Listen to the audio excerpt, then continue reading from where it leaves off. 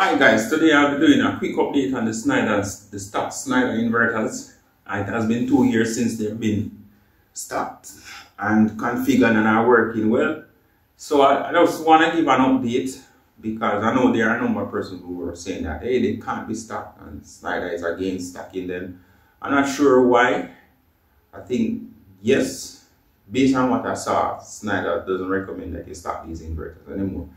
These are the 4024, the 24 volts Conext inverters. So I've put them stock and they've been running for two years. I'm just gonna pretty much run a generator and charge the batteries through them using both of them at the same time. Well, the batteries are now at 65 or 64% state of charge. So I'm not sure if the load, because I only have 5 kilowatts of battery um, lead acid batteries at this right now. So I'm not sure if the inverter are both of them gonna need to run in order to charge the battery based on where it's at. But I'm gonna try and, and let's see what happens. Um, and then, then I'm gonna put a bit of load on it. And then I'm gonna turn back on the charging source. I have 6,000 watts of panel now. Um, I've upgraded one of the the charge controller to this this Victron 150, 100. Um, the last video I did on this some time ago, I, I had a, a C series charge controller here running with two Midnight Classic 150. These are still there. I've done a bit of modification on them. Um, I'll do another video on that. I've drilled some holes into them because they keep getting hot. And I'll do another video on that. But let's let's start with running the generator. It's already connected here.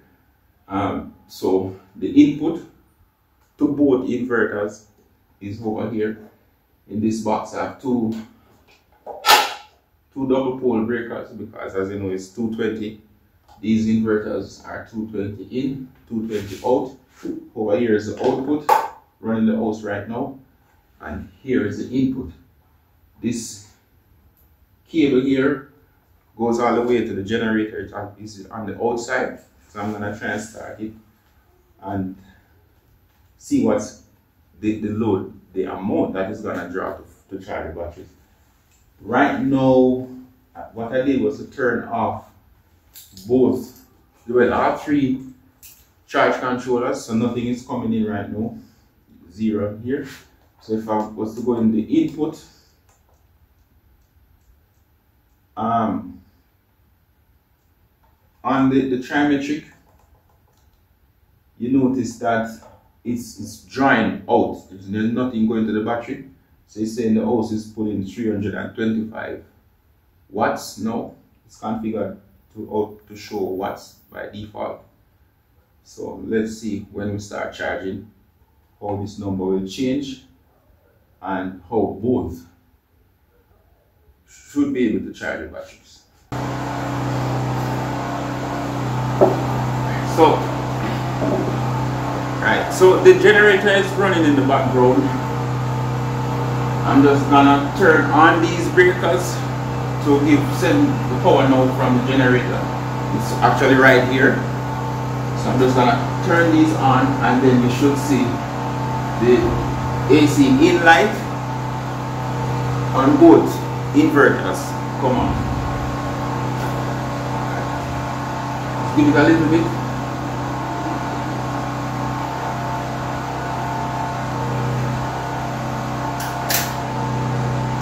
So there it goes. So you see this one is blinking and this other one is blinking. And now if you look at what is going to the battery now, you notice it's 2.39 which means that this is 2390 watts going to the battery. I'm gonna go into the the SCP and let's look at what we have here for the, the, the, the charge load. The amount we pull in from the battery, I believe it's set at 50%. Let's take a closer look at that and see what we pull in from the inverter and send it to the batteries. So at this time the the wattage going to the battery is, is falling quite rapidly because of the, the size of the battery bank so it's charging up quite fast so let's look at the how much we are pulling from the batteries from the generator in terms of the the percentage charge percentage what percent of the total 6800 watts we are taking from the generator. Exit a couple of times to ensure that you're on the main screen. Enter. Um, let's go into any one of both inverters. They should once it changes setting in one it's gonna go over into the other. So let's go into it and see. Charger is enabled. Mode. Basic settings. So down here you see maximum charge rate. The maximum charge rate is the percentage. It is measured in percentage and it's the, the charge rate of the potential of both inverters that you are sending you are uh, pulling from your generator or your your grid. Whichever the, the, the input source is.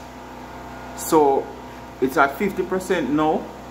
I'm gonna just change that a bit. Just just let's play around here. I'm gonna reduce it a bit and we should see this percentage reduced there and I'm gonna go in the other inverter and show you that it changes over there as well. So let's go down. Let's go all the way down to about 20% or so. So we're taking less now from the generator. Enter. Takes effect. This number changes immediately because now less is going to the battery. And let's go into the other inverter. So that's inverter that's CSW 402400 let's go into 01 now down to 01 enter. And let's go all the way down to basic setting. And then go down to now you see the maximum charge rate is at 20 so I'm gonna change this back to 50 enter. Let's go back up to 50 here. And you'll see it take effect in 00 as well. This is a slave. But it's configured to copy the settings over from one inverter to the other. So let's go back to 50% enter. You may not you, see this going up? You may not I'm not sure if you are hearing the generator in the background it's a gas generator. It's a petrol generator it's very loud. Alright let's go back out and there you have it. Let's go over here and see the 50% now in in the master inverter. Let's go down. Basic settings where you have this. And it's there at 50 so that is pretty much just to demonstrate that both inverters are working together to charge the battery. Um, let's look at the meter as well. You can see how much it's pulling. Uh, so we are in the master still. Let's go in the master but meter. Let's see. In we're seeing 500 watts here coming in. All right. The stator charges absorbed. Let's look at the slave down to slave meter. Absorb as well. Now in my pre previous video I stated that these inverters are not the same model. They are they are the same model but not the same here. They are far apart. One is 2018 and one is 2021 so that's that's that's the the age apart. So the display is slightly different. You notice this one says mode here while the other one said something else. So the slave is older and the display is slightly different. And it shows some other things here telling you the temperature of the battery because the temperature sensor is connected. Uh, another point is once it gets I'm not sure what it's the cutoff temperature but I know once the batteries get if they get too hot it's gonna cut off the charge and shut down. Shut down the inverters and give you a warning. Alright so let's go down a little bit further. So this one is showing 400 watts. Uh, one thing I know as well is that if we are charging for a, a long time until the battery gets to float you may see one inverter floating and the other one is still in absorb um, mode.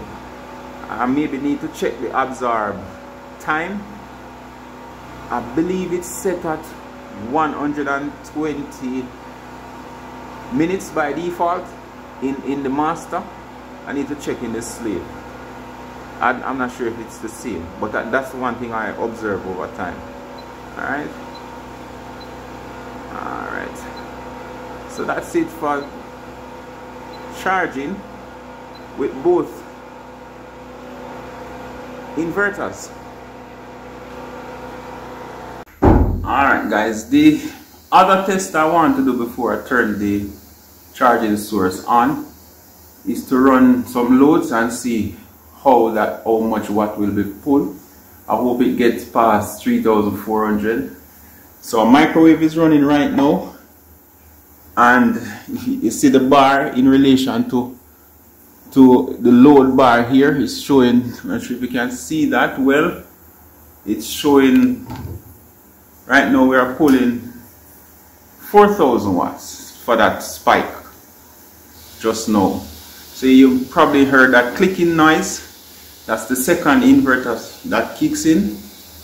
So right now it settles off at 1.6 kilowatt. This is DC measurement here. And it, that provides 1000 approximately thousand watts.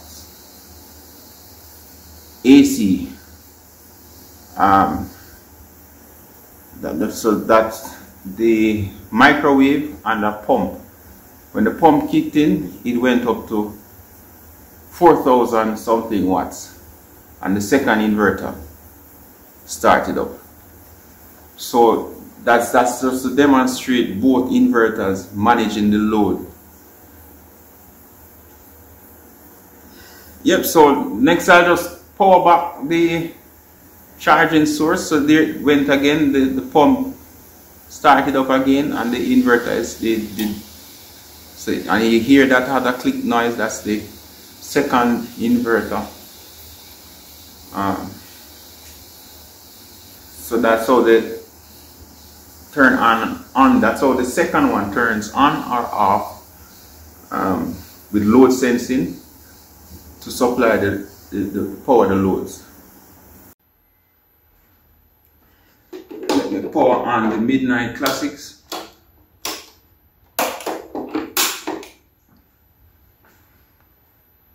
Four on that one six it's actually raining outside so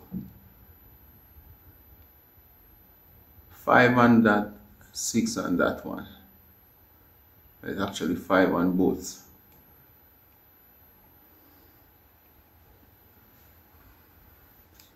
So there it is the, the quick update on the stacked Schneider Conext SW inverters the 4024 uh, two of them stacked and they have been working well, quite well.